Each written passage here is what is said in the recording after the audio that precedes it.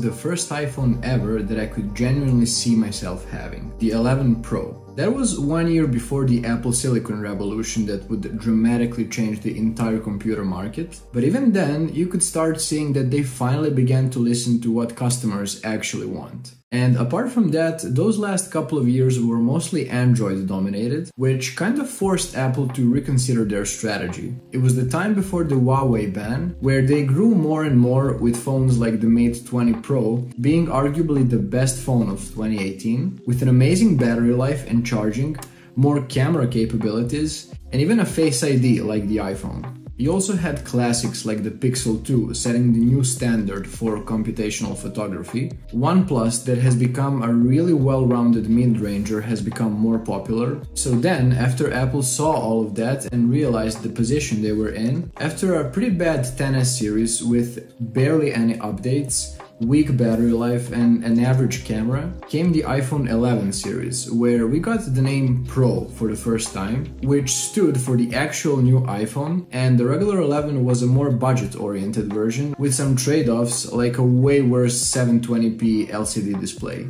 On the Pro models, however, they introduced the three-lens camera system that was so good for the time that people actually started making movies with just their iPhone. After years of fulfilling the meme of having a horrible battery life and cracking easily, it finally abolished both of those things with battery easily lasting the full day and the build quality improving as well. Yes, there were still a lot of things that could have been improved, like the ProMotion that has gotten more popular around that time, or how about a smaller notch or a hole punch that all the other phones adopted a long time ago, or even a Type-C port instead of the Lightning. But now, a couple more years have passed, and we have gotten almost all those things with the last two generations of iPhones. From first a smaller notch and a ProMotion on the 13 series, and now even a hole punch.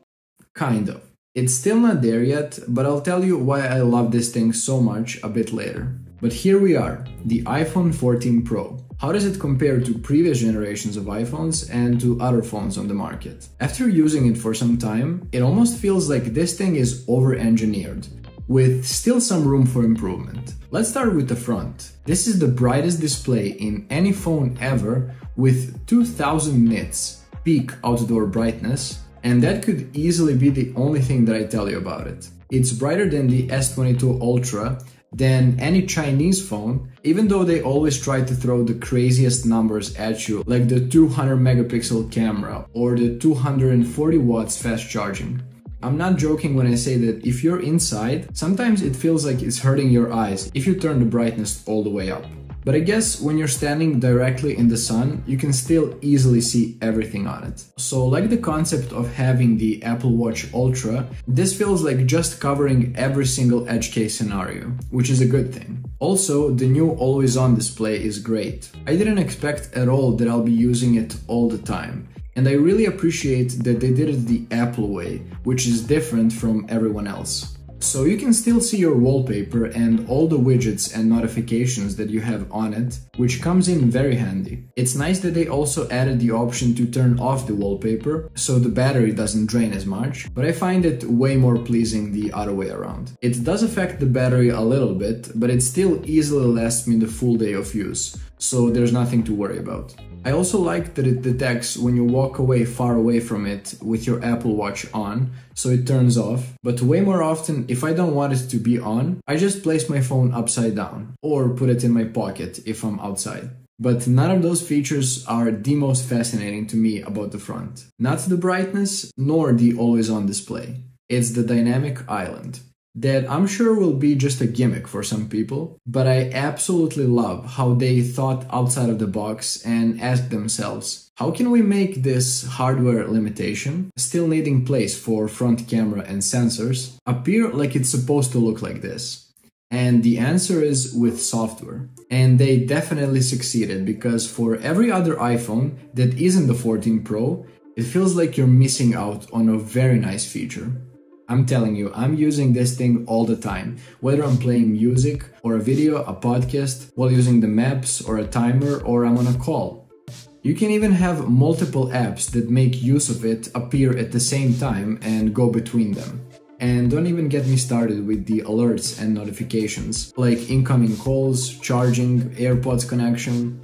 It feels so friendly and just right that this is the absolute best use of a space like that. And at the end, I like how no one in the Android world thought about something like this. Even though the hole punch is pretty much the standard for the past 4 years. And now, as soon as Apple introduces such an awesome and intuitive software feature, you immediately have developers working on apps that do something similar to it for Android. Which just shows you who's still leading the industry. The other thing that feels like it's hit the ceiling are the cameras. First of all, I gotta say, don't fall for any megapixel count in any phone's marketing, because in today's world, it's the least important metric for photo and video quality. iPhones had 12 megapixel cameras for the past 6 generations, and they were still the smartphone camera king, like I said, since the 11 Pro. Because what's way more important today is the processing, the AI and machine learning algorithms, so every phone interprets what it's seeing through the lens in their own unique way. But regardless of all that, this year they finally did make a change in the megapixel count. And then you know it's for something actually meaningful. So 4 times as much as before. 48 megapixel main camera. And I just gotta say, these camera bumps are becoming so big that now the phone sits perfectly on my index finger while I'm holding it, which is actually kind of nice but the camera itself is very remarkable. It's actually still taking 12 megapixel shots, but it does that by binning 4 pixels into one. So there is more detail and less noise than before. The colors are slightly better, and I found the overall images to look a bit more realistic. And because the sensor is this huge, it allows you to crop in two times into the main camera and take photos without losing any detail. And I use this way more often than the 3x telephoto lens, because that much zoom is usually too much for what I'm shooting. But if you want to utilize the full power of this camera, you'll need to go to settings and turn on the 48 megapixel Pro RAW shots. And then you'll get even more detail and information out of your photos.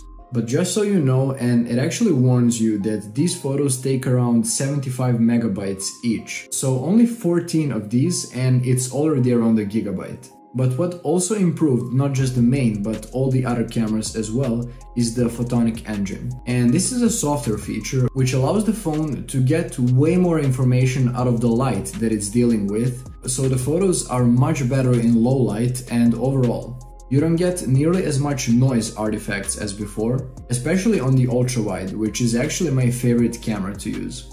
The other, also softer feature that is just now useful to me is the cinematic mode, that finally works in 4K instead of the Full HD, which was so contradictory just from the name. How can it be cinematic mode and use 1080p resolution? But now, with the computational power of A16, this feels way less like a gimmick, and you can actually get some very useful footage out of it. And the background is also cut out almost perfectly. So it really fascinates me and makes me wonder how similar will a smartphone eventually become to the actual DSLR or a professional mirrorless camera? Because it's evident that they are a dying breed already. And with features like these, I'm really looking forward to the next few years. So okay, it's pretty much the best smartphone camera, the best processor, and the best display in the world. But like I said, there is still some room for improvement, with only three more things in particular. But as it stands right now, all it takes to get there is time and patience. Let me explain. Those three things are the lightning port, that isn't very handy for transferring these large photo and video files, even though the dynamic island is a great feature for the time being, it still takes a significant amount of space and it's very noticeable while you're watching something or playing a game. And third, it's the weight of the phone, especially on the Pro Max, which is around 240 grams, all because of the stainless steel frame. But like I said, in a couple of years, all those problems will be resolved with leaks confirming that there's one more iPhone until the under-display Face ID sensors, so it will then be just one small hole, and three more iPhones until even the front camera goes underneath. So it finally becomes this dream phone that everyone has been looking forward to for like a decade now. iPhone 15 Pro will move away from stainless steel and use titanium, which is a stronger yet lighter material, and it will also finally replace the Lightning port with the Type-C. But that will be just the stopgap before the totally portless iPhone, with also a display with no interruptions whatsoever. But until then, this beast of a phone will definitely do its job for me. And it will also be helping me run this entire YouTube channel. So thank you all so much for watching until the end. I'm really excited that we're building such an amazing community. So I want to announce that I'm actually going to do a giveaway. When this channel finally hits 1000 subscribers, I'm gonna give away 5 of you my Lightroom presets. You can check them out on my website, apart from my other work, and also support me on my Patreon. So hit the subscribe button and like this video, and check out my other videos as well. Thanks for watching.